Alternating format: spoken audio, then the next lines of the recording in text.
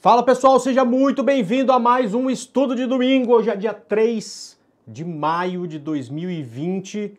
Aqui é André Moraes, analista de investimentos, e vamos lá para mais uma semana de muita volatilidade. Vamos primeiro falar da semana que passou, para depois chegar uh, numa semana que já promete uma segunda-feira nervosa, né? Então vamos lá. Uh, na semana anterior a gente teve uma recuperação. Para quem não se lembra, duas sexta-feiras atrás a gente teve lá a saída do muro do governo, fazendo várias acusações ao presidente Bolsonaro, criando no mercado uma lambança total. Né? O mercado que estava rompendo uma região de resistência na quinta-feira acabou recuando um pouco na quinta-feira e caindo muito na sexta. Né? Bom, pois bem, a gente começou uma recuperação uh, a partir de segunda-feira, né? mas olha só que interessante. Durante todo esse processo de lateralização no mercado, a gente marcou no gráfico regiões de suporte e resistência. Né? Deixa eu mostrar para vocês aqui. Né? Então, isso aqui foi o início uh, do mês de abril. Né? Então, a gente vinha aqui, batia aqui em cima, perto dos 81.500, voltava perto dos 76, ficamos fazendo essa... vai em cima, vai embaixo. Apesar de não ter tido movimento nas blue chips, muitas empresas, como por exemplo Via Varejo, empresas do setor de construção civil, uh, empresas do varejo em geral e até de outros setores andaram bastante, até que saíram boas operações. Né? Bom, isso aqui foi quinta-feira, né? E essa aqui já é abertura de sexta. Uh, inviabilizando né, a gente manter esse, esse ponto aqui como ponto de suporte. Né? Isso não acabou. A gente sabia que, poxa vida, tá caindo, tá feio, não sei o que vai acontecer. A gente só sabe que aqui em cima tem um ponto de resistência. Beleza. O mercado na segunda-feira começa a se recuperar e a partir daí surgiram boas operações. Né? Porque na segunda-feira, é, uma outra coisa já deu sinal, não teve muita entrada na segunda, mas na terça-feira teve, né? Inclusive uma em positivo, que era uma operação de swing trade, uh, e que começou e acabou no mesmo dia, né? Porque a positivo subiu 20 e tantos por cento, né? Mas é, é, e, e, o que é uma coisa completamente incomum só é possível em momentos como esse ou num gap por conta de uma notícia. No caso da Positivo teve nada, né? No meio do pregão começou a subir, a gente conseguiu entrar num bom momento e ela subiu até o alvo final da operação. Né? Bom, mas enfim, o mercado na quinta, na, na terça-feira dormiu perto de novo do ponto de resistência. A gente, claro, né, atento a isso. Abriu quarta-feira gap de alta novamente, até que na quinta-feira com a queda do mercado americano, né, voltou para a consolidação. Então a gente que teve a ponto de resistência rompido, quer dizer, porra, agora podemos subir tranquilo, né? A gente também pode desistir dessa linha, tá? E agora não tem mais nenhum ponto relevante. Quer dizer, agora a gente entende que, aliás, agora não, né? Eu acho que já há muito tempo a gente entende que o mercado não tem uma tendência bem definida, apesar dele dar sinais de que era para vender aqui embaixo e de que era para comprar aqui em cima, né, ele acabou não fazendo nada representativo.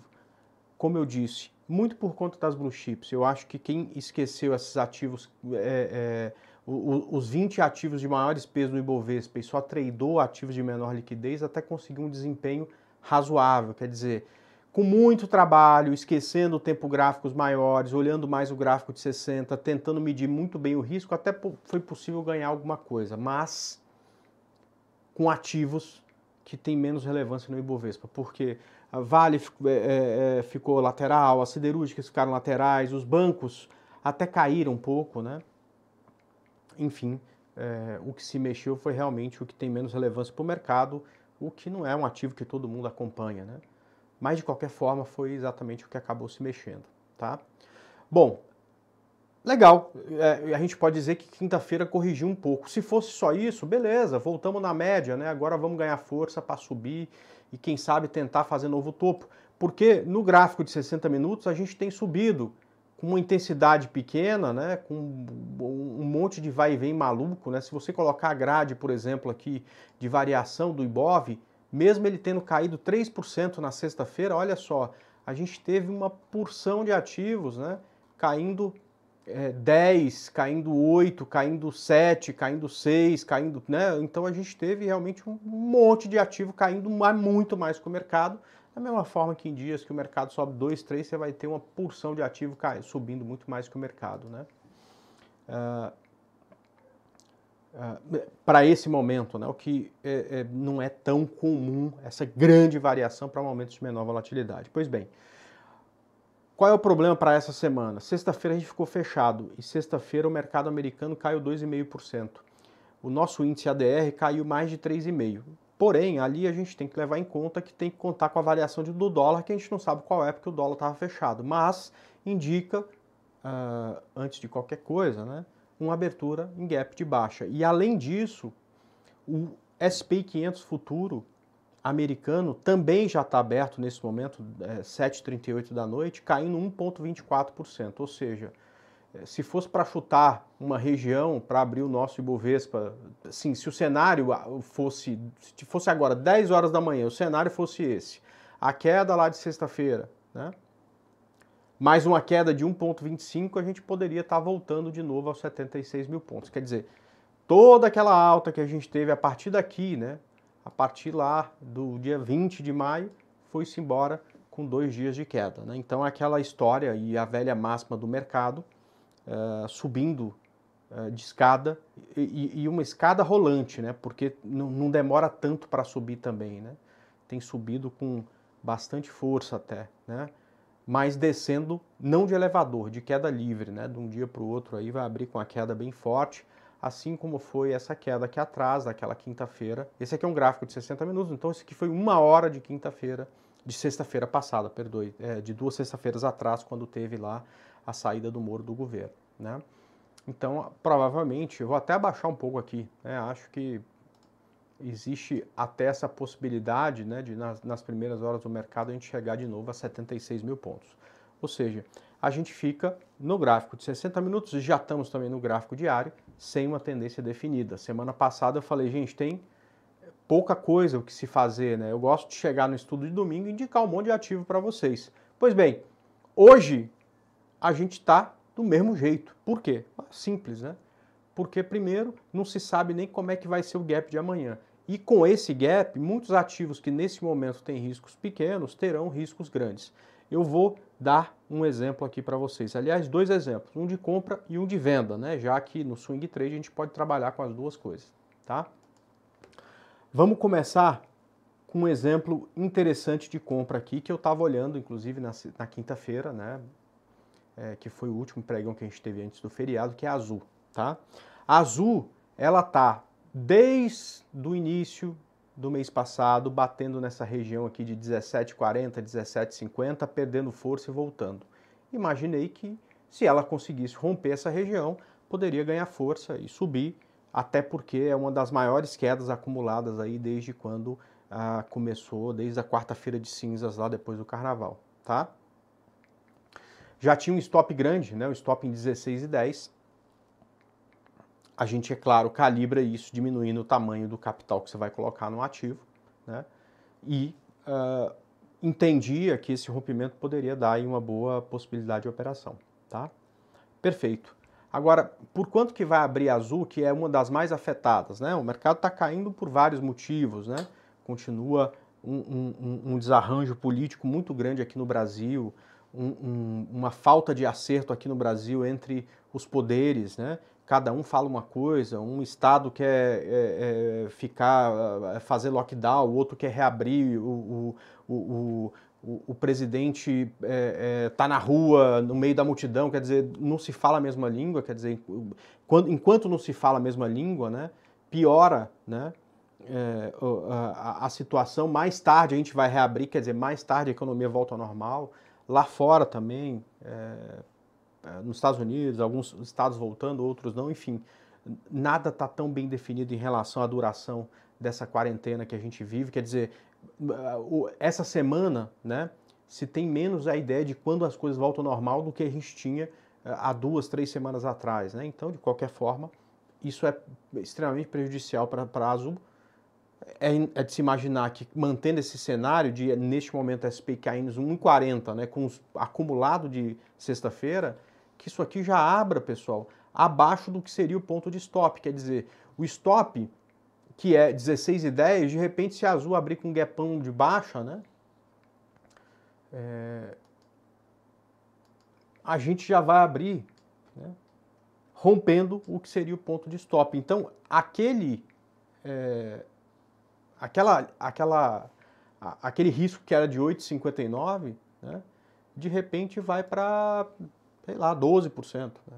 Só para vocês terem ideia, a DR de azul, na sexta-feira, que estava fechado aqui, caiu quase 10%. Ou seja, se, se o dólar tivesse ficado no 0 a 0, coisa que não, não é, é, improvável, né, a gente já teria rompido esse fundo. Quer dizer, com mais essa queda acumulada de, de, de se, se, vier hoje, né, se o SP 500 cair, pode ser que a Azul abra 15, 30. Aí o risco que era de 8% vai para 20. Como é que a gente vai fazer uma operação assim? Né?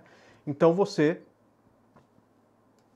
desiste de fazer uma operação porque o risco é tão grande e, e, e, e o mercado tão improvável, né, tão difícil, que a gente não consegue pensar numa operação como essa. Tá? André e venda, né? Porque o que mais tem neste momento é papel que está exatamente igual, por exemplo, esse aqui, ó, Lean, Lean X3, tá? Dá uma olhada nesse papel, tá?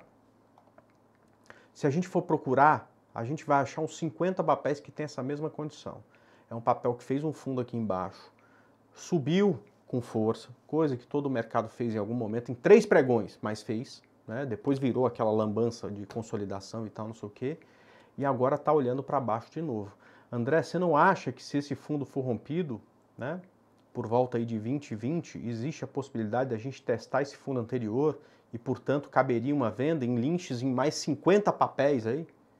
Acho, acho sim. Vamos para o gráfico de 60 para a gente ver como é que seria essa operação, tá?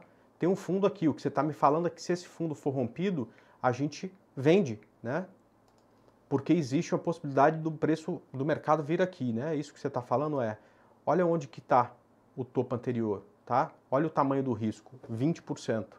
É difícil também assumir uma operação neste momento de venda com stop de 20%, não é? Porque a gente viu, por exemplo, positivo essa semana, num dia subir isso, né? Ou seja, percebe que essa volatilidade sem direção, novamente, né, no domingo, aumenta os riscos, né? Então, e, e, na venda todos são assim, gente, olha, eu tenho uma lista, né, está aqui, vou mostrar para vocês, né, que tem todos esses papéis que estão aqui, ó, tá? São por volta de 150 papéis, ó, tá? Eu clico aqui em ativo, né? Tem o primeiro, aliar, e vou um por um, tá certo? A, Ambev, né? Parecido aí com o que a gente falou de Lynx 3, vou, vou, vou passando por um. Se você vê lá Alpa 4, também parecido, Alzo 3, se rompeu o fundo, você tem um monte de ativo que tem exatamente essa condição. Para falar a verdade, pessoal, é, é, eu, é, entre 45 e 50 ativos que tem essa condição. Ou seja, venda com stops gigantescos, tá? Neste momento eu não, não me amarro mais nessas vendas, tá? É, é, é, é, aquela história que tem hora que o risco é tão grande que se cair, eu prefiro ficar de fora e aplaudir quem conseguiu pegar ele no começo do que é, a, assumir um risco como esse, tá? Ah, enfim, é pelo menos a minha opinião. Eu vou continuar achando a mesma coisa e repetindo a mesma coisa para vocês, tá certo? Tem hora de comprar, tem hora de vender e tem hora de ficar de fora. Eu tenho que ter a liberdade para falar para vocês, olha, agora é hora de compra ou agora é hora de venda, mas também tem que ter a liberdade de falar que agora é hora de ficar de fora, tá? E para a grande maioria dos papéis, pelo menos segunda-feira vai ser essa hora. Pode ser que o mercado abra e se recupere a partir dali. Mas, cara, isso vai depender de um gráfico intraday de 15 minutos.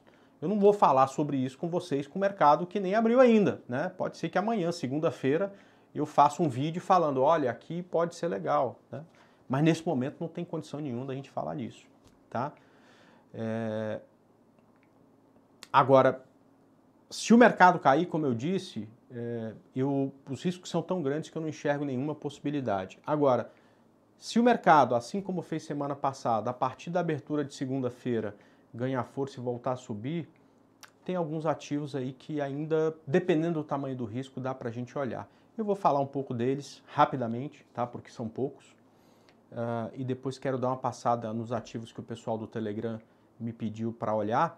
Aliás, se você não participa ainda, ó, deixa eu só passar números de agora, tá? São 25.499 inscritos no nosso canal, tá? Se aproveita, é, se inscreva lá, é gratuito, é só clicar aqui no link aqui abaixo. Uh, a gente passa bastante informação legal, vem fazer parte dessa turma aí com a gente, tá bom? Vamos lá, vamos dar uma olhada então nesses ativos. Começando com Carrefour, tá? E, e, deixa eu mudar de gráfico aqui, pessoal. Vou preferir utilizar esse aqui, tá? CRFB3, né? O, o, o CRFB3 é tudo tão enrolado, é, tudo tão enrolado. Acho que na hora que eu falei estava na, na aqui. Deixa eu, então, ó, aqui embaixo, tá? Tem um link do Telegram, tá? É, se inscreva, é só clicar no link, você vai conseguir se inscrever. Uh, é gratuito, tá? Além disso, tem um segundo link abaixo, tá? Uh, nós faremos no mês de, no próximo mês, maio, então em junho, tá? A terceira turma de mentoria. Tem muita gente que me pergunta, André, quando que vai ser a próxima turma e tudo mais. É, que é um, é um, a mentoria é um programa, assim, bem completo, coisa de pegar na mão e ir para frente durante muito tempo, pelo menos três meses com todo mundo. Muitos que fizeram a primeiro, me, primeira mentoria ficaram para a segunda, pelo menos para a parte prática, para receber calls e tudo mais e tal, para me acompanhar durante o mercado. Eu, a partir de junho, vou estar exclusivo para quem está fazendo essa mentoria durante o pregão, falando de, de mercado, falando de operações, mostrando possibilidades. É, a gente vai abrir inscrições a partir do dia 15 e dia 20 de maio, tá? Se você quiser já deixar seu nome e e-mail para a gente entrar em contato, até porque os primeiros, a primeira leva tem sempre um desconto, no segundo link aqui embaixo tem como você já fazer a inscrição, tá bom? Bom, vamos lá. Como eu gosto de falar, dito isso, é, essa semana né, a gente conseguiu é, fazer o que a gente fazia no gráfico diário, é, no gráfico de 60 minutos, que é conseguir identificar rompimento de linha de tendência. A gente conseguiu identificar um Imprio 3, que deu uma belíssima operação, que é, não sei se felizmente ou infelizmente já foi finalizada. Tá? E aí, estudando o mercado, eu percebi que Carrefour tem uma linha de tendência como essa, tá? até mais extensa. Eu gosto, quanto mais longa é a linha, né? É, quanto mais vezes o mercado tiver tentado chegar perto dela, mais representativa ela é. Tá? Eu tenho certeza que o gap de baixa, caso aconteça na segunda-feira, o que é muito provável, né, vai fazer o preço amanhecer aqui embaixo. Mas como o estudo de domingo é um, é um, é um estudo semanal, é bom a gente ficar atento, tá? Porque se esse ativo se recuperar em algum momento, estiver rompendo essa linha de tendência, acho que vai valer a pena, claro, né, tendo um stop adequado, pensar numa operação, tá? Então essa é a primeira que eu queria falar com vocês. A segunda, por incrível que pareça, é Embraer, né? É, eu vi quando o acordo dela com a Boeing furou, muita gente falando, ih, agora ela vai cair, né? Esse aqui foi o dia que saiu o anúncio, né? Do dia que saiu, quer dizer, da primeira hora que saiu até agora, ela já subiu 21%, né? é, como é, é, é, difícil a vida né, de quem opera opiniões né, é, que acontecem quando sai alguma notícia. Né? Deve ser muito difícil. Eu não sei como é. Eu já fiz isso, mas faz tanto tempo que eu já esqueci. Né? Mas eu lembro, era doído. Tá? Mas de qualquer forma, é, isso, graças a Deus, já ficou para trás. Né? Então é muito mais fácil se você gosta de fundamento, focar no longo prazo e operar o fundamento. E, e se você gosta de curto prazo, ficar de olho no gráfico, né? E o gráfico fala para mim que a mesma linha de tendência que a gente tem em Carrefour, a gente tem em Embraer. Então pode ser que a gente consiga, ah, nesse rompimento, como eu falei, provavelmente vai abrir em queda, o risco vai estar tá grande, mas durante a semana, se recuperar e romper essa linha, enxergo aí alguma oportunidade também Embraer, tá?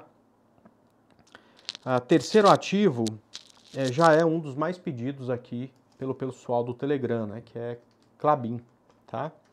É, Clabin, vamos lá.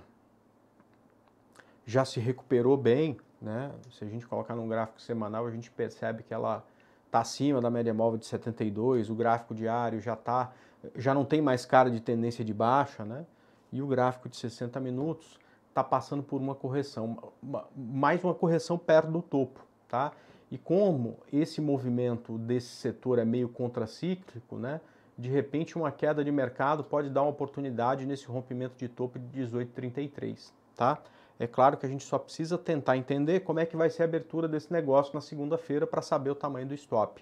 Mas a partir de 18,33 também acho um ativo interessante, tá? É... Outra que chama atenção, aliás, o setor inteiro, né? Porque tem menos volatilidade, não é legal de operar, porque não é aquele ativo que sobe 20% no dia bom, mas também não despenca 18, 20 no dia ruim, né? É exatamente light, tá? É, eu, eu gosto muito dessa região de 12 reais para pegar o rompimento caso ele aconteça. Mesmo problema dos outros ativos, né? Como a gente imagina que se nada mudar no SPI 500 futuro, a gente vai abrir em gap de baixa, precisa saber o tamanho do stop para quando isso aqui romper os 12 reais, dá para a gente aí uma possibilidade de operação, tá? E o último ativo que eu separei como um interessante para a gente namorar, quem sabe para dar entrada terça, quarta-feira, se o mercado se recuperar, é exatamente esse ativo que é o que é MEAL 3, tá? Nesse rompimento de 3,60, tá? Mesma coisa, não faço ideia de por quanto que vai abrir na, sexta, na segunda-feira.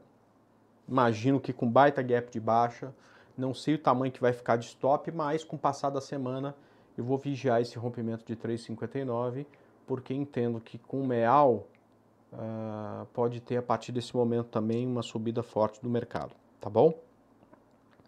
Queria dar bastante atenção ao setor de exportação de proteína, é, porque é um dos mais pedidos aqui no Telegram, começando então com BIF 3, tá? É, fez uma onda 3 para cima, já bateu a projeção de 100, 127, 161, quer dizer, é, isso aqui realmente se recuperou, né? Se a gente for observar a BIF 3, né? Ela tá a, a, o, o, gap, né, de quarta-feira de cinzas, né? Opa, 27, quando que foi que o gap, quer dizer, ela tá acima do preço que estava, né? Uh, na quarta-feira de cinzas, né? Então uh, já se recuperou por completo aí de, uh, de toda a queda, né? Enfim, uma das poucas, mas muito bonita, né? Teve forte aí no começo da semana e, como eu falei, é, é outro setor que é um tanto quanto contracíclico, né, em relação ao Ibovespa, né? Uh, enfim, acabou perdendo um pouco de força uh, nesses últimos momentos, mas é, para vocês que gostam, né, eu entendo que esse é o ponto de resistência dela. Você pode até trazer um pouco mais acima para pegar o teto aqui, né? Ou seja, acima desses três reais tem outra oportunidade de compra no ativo. Não é nenhum ativo que eu tenho costume de fazer operações. Eu tenho alguma dificuldade de encontrar o ponto correto de entrada nesse ativo, tá? Mas para quem gosta, fico muito atento ao rompimento desses 13. Como é contraciclo, de repente você tem com essa abertura em queda até uma possibilidade aqui de ganho de força e romper esses 13 reais mais rápido que o resto do mercado, tá? Outra muito pedida é JBSS3, Vamos lá.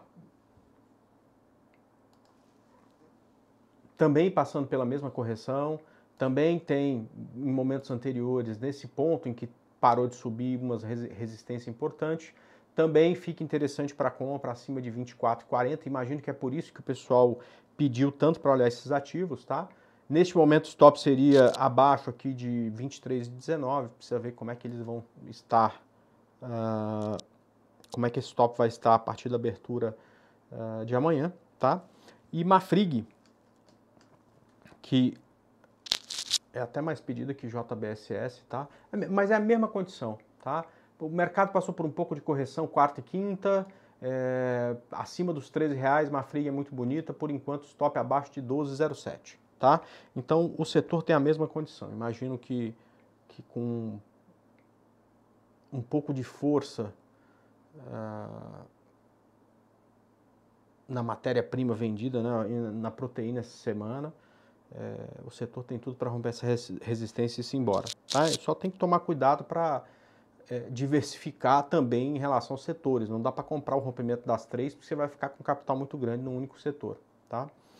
É, e para finalizar, o ativo mais pedido do Telegram é exatamente Vale, tá? um ativo que deu, inclusive, né, um sinal de que, assim como o Ibovespa, de que agora eu vou, né, é, rompendo essa região de 45,92, eu falava 46 reais, né, mas acabou voltando com muita força na sexta-feira, a gente até de manhã, na quinta, perdoe, até de manhã já falava que as ADR estavam caindo forte, tá?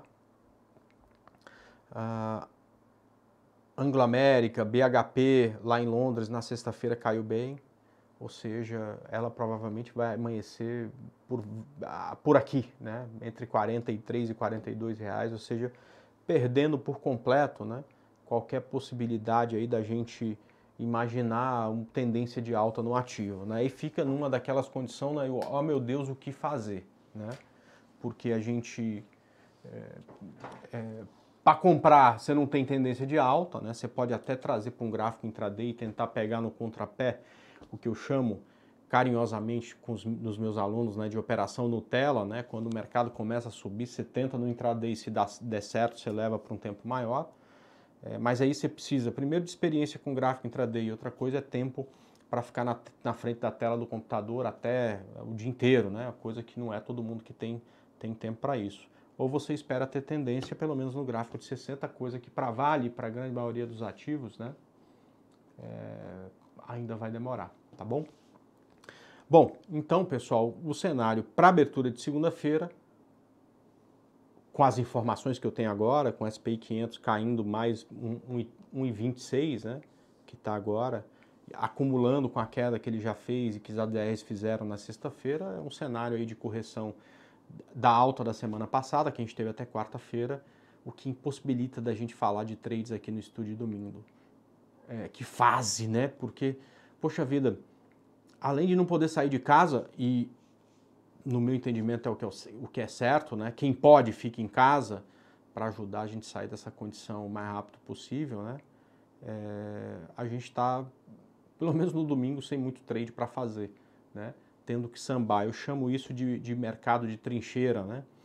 É, como na guerra de trincheira, você levanta, dá um tiro e volta para dentro da, da trincheira, senão você é acertado, né?